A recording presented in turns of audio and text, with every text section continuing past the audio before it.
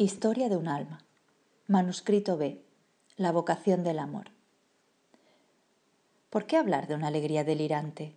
No, esta expresión no es justa. Es más bien la paz tranquila y serena del navegante al divisar el faro que debe conducirle al puerto. Oh, faro luminoso del amor, yo sé cómo llegar hasta ti. He encontrado el secreto para apropiarme de tu llama. No soy más que una niña, impotente y débil. Sin embargo, es mi misma debilidad la que me da la audacia de ofrecerme como víctima a tu amor. Oh Jesús, antaño solo las hostias puras y sin manchas eran aceptadas con agrado por el Dios fuerte y poderoso. Para satisfacer a la justicia divina eran necesarias víctimas perfectas. Pero a la ley del temor ha sucedido la ley del amor, y el amor me ha escogido como holocausto. A mí, débil e imperfecta criatura, ¿esta elección no es digna del amor? Sí, para que el amor sea plenamente satisfecho, es necesario que se abaje hasta la nada y que transforme en fuego esta nada. Oh Jesús, lo sé. El amor solo se paga con el amor. Por eso he buscado, he hallado el medio de aliviar mi corazón devolviéndote amor por amor. Emplead las riquezas que hacen injustos en haceros amigos que os reciban en las moradas eternas. He aquí, Señor, el consejo que das a tus discípulos después de haberles dicho que los hijos de las tinieblas son más sagaces en sus negocios que los hijos de la luz. Hija de la luz, comprendí que mis deseos de serlo todo, de abarcar todas las vocaciones, eran riquezas que podrían muy bien hacerme injusta. Por eso me he servido de ellas para hacerme amigos. Acordándome de la petición de Eliseo a su padre Elías, cuando se atrevió a pedirle su doble espíritu, me presenté ante los ángeles y los santos y les dije soy la más pequeña de las criaturas, conozco mi miseria y mi debilidad, pero sé también cómo les gusta hacer el bien a los corazones nobles y generosos. Os suplico, pues, oh bienaventurados habitantes del cielo, os suplico que me adoptéis como hija. Para vosotros solo será la gloria que me hagáis adquirir, pero dignaos escuchar mi súplica. Es temeraria, lo sé. Sin embargo, me atrevo a pediros que me obtengáis vuestro doble amor. Jesús, no puedo ahondar en mi petición, temería verme agobiada bajo el peso de mis audaces deseos. Lo que me disculpa es que soy una niña.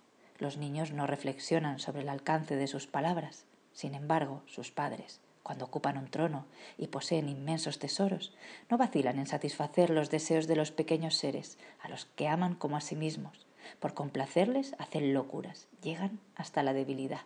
Pues bien, yo soy la hija de la Iglesia y la Iglesia es reina puesto que es tu esposa, oh divino Rey de Reyes. No son las riquezas y la gloria, ni siquiera la gloria del cielo, lo que reclama el corazón del niñito. Comprende que la gloria pertenece de derecho a sus hermanos, los ángeles y los santos. Su gloria, la de él, será el reflejo de la que irradiará la frente de su madre. Lo que él pide es el amor. No sabe más que una cosa, amarte, oh Jesús. Las obras clamorosas le están prohibidas. No puede predicar el Evangelio, derramar su sangre. Pero ¿qué importa? Sus hermanos trabajan en su lugar. Y él, pequeño niño, se mantiene cerquita del trono del rey y de la reina. Ama por sus hermanos que combaten. Pero, ¿cómo manifestará su amor puesto que el amor se prueba con las obras?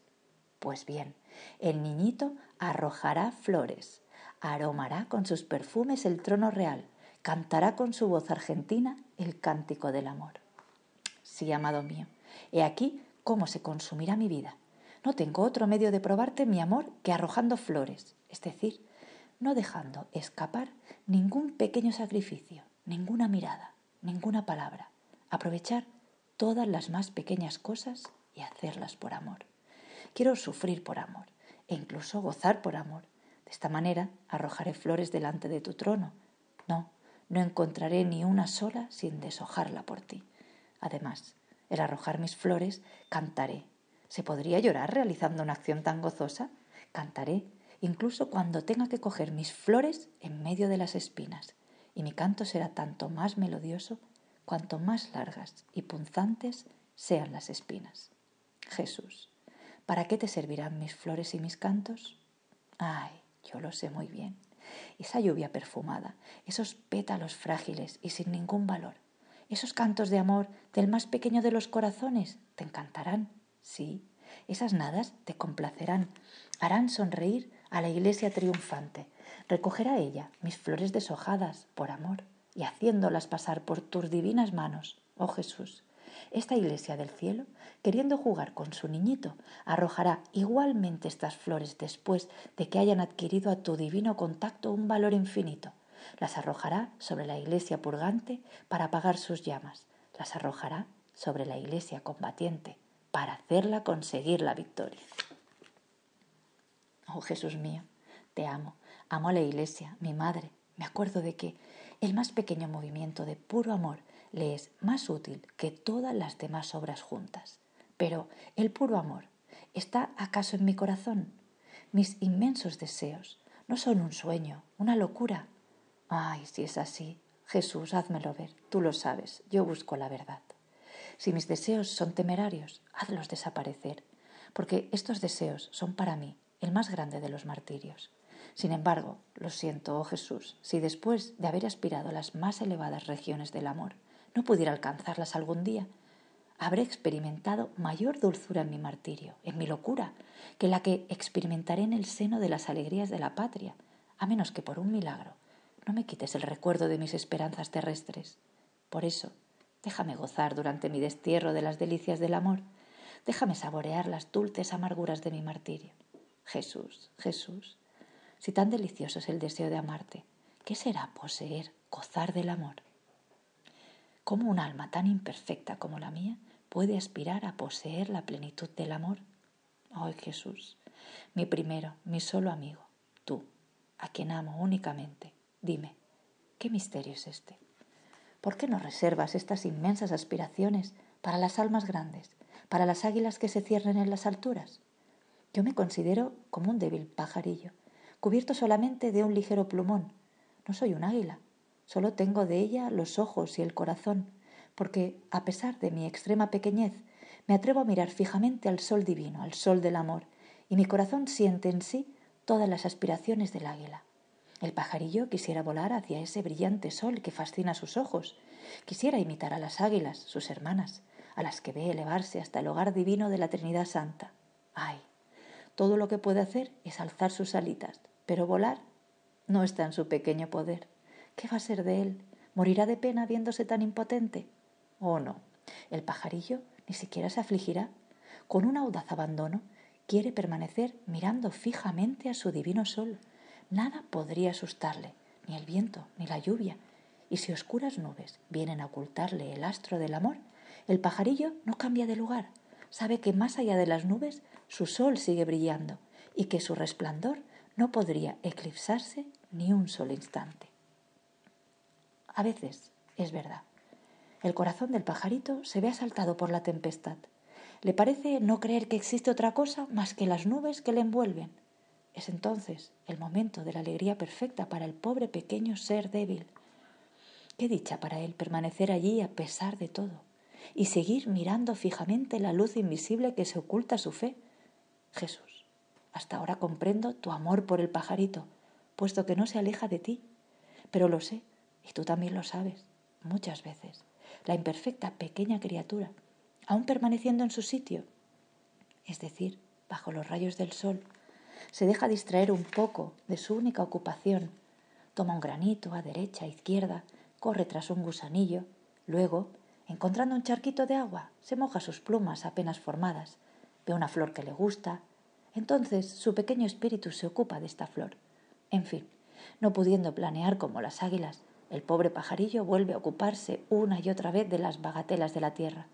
Sin embargo, después de todas sus fechorías, en lugar de ir a esconderse en un rincón para llorar su miseria y morir de arrepentimiento, el pajarillo se vuelve hacia su amadísimo sol, presenta sus alitas mojadas a sus rayos bienhechores, gime como la golondrina, y en su dulce canto confía, cuenta detalladamente sus infidelidades, pensando en su temerario abandono, adquirir así más dominio, atraer más plenamente el amor de aquel que no vino a llamar a los justos, sino a los pecadores. Si el astro adorado permanece sordo a los gorjeos plañideros de su pequeña criatura, si permanece velado, pues bien, la pequeña criatura permanece mojada, acepta estar transida de frío y se alegra también de este sufrimiento que ella ha merecido, no obstante. Ay Jesús, qué contento está tu pajarillo de ser débil y pequeño, ¿Qué sería de él si fuera grande? Nunca tendría la audacia de comparecer en tu presencia, de dormitar delante de ti. Sí, esta es también una debilidad del pajarillo cuando quiere mirar fijamente al divino sol y las nubes no le dejan ver ni un solo rayo. A pesar suyo, sus ojitos se cierran, su cabecita se esconde bajo la alita y el pobre pequeño ser se duerme, creyendo seguir mirando fijamente a su astro querido. Al despertarse, no se desconsuela. Su corazoncito permanece en paz, comienza de nuevo su oficio de amor. Invoca a los ángeles y a los santos, que se elevan como águilas hacia el foco devorador, objeto de su deseo, y las águilas, compadeciéndose de su hermanito, lo protegen, lo defienden y ponen en fuga a los buitres que quisieron devorarlo. A los buitres, imágenes de los demonios, el pajarito no los teme, no está destinado a ser su presa, sino la del águila que él contempla en el centro del sol del amor. Ay, Verbo Divino, eres tú el águila dorada que amo y que me atrae. Eres tú el que, lanzándote a la tierra del exilio, quisiste sufrir y morir a fin de atraer a las almas hasta el seno del hogar eterno de la Trinidad bienaventurada. Eres tú el que, remontándote hacia la luz inaccesible que será para siempre tu morada, permaneces todavía en el valle de las lágrimas, oculto bajo la apariencia de una hostia blanca. Águila eterna, quieres alimentarme con tu divina sustancia, a mí, pobre pequeño ser, que volvería a la nada si tu divina mirada no me diese la vida a cada instante. Oh Jesús, déjame, en el exceso de mi gratitud, déjame decirte que tu amor llega hasta la locura. ¿Cómo quieres ante esta locura que mi corazón no se lance hacia ti? ¿Cómo podría tener límites mi confianza? Ay, por ti, lo sé. Los santos hicieron también locuras, hicieron grandes cosas, porque eran águilas. Jesús, yo soy demasiado pequeña para hacer grandes cosas, y mi locura es esperar que tu amor me acepte como víctima. Mi locura consiste en suplicar a las águilas, mis hermanas, que me obtengan el favor de volar hacia el sol del amor con las propias alas del águila divina. Oh amado mío, tu pajarillo permanecerá sin fuerzas y sin alas todo el tiempo que tú quieras. Seguirá con los ojos clavados en ti. Quiere ser fascinado por tu mirada divina. Quiere llegar a ser la presa de tu amor. Un día tengo esa esperanza. Vendrás, águila dorada, a buscar a tu pajarillo y remontándote con él hasta el hogar del amor, le sumergirás por toda la eternidad en el ardiente abismo de este amor, al cual Él se ha ofrecido como víctima. Oh Jesús, que no pueda yo decir a todas las pequeñas almas lo inefable que es tu condescendencia. Siento que si, por un imposible, encontrases a un alma más débil, más pequeña que la mía, te complacerías en colmarla de favores más grandes todavía, con tal que ella se abandonara con una entera confianza a tu misericordia infinita. Pero, ¿Por qué desear comunicar tus secretos de amor, oh Jesús? ¿No eres tú solo el que me los ha enseñado y no puedes tú revelárselos a los otros? Sí, lo sé, y te conjuro que lo hagas. Te suplico que abajes tu mirada divina hacia un gran número de almas pequeñas. Te suplico que escojas una legión de pequeñas víctimas dignas de tu amor.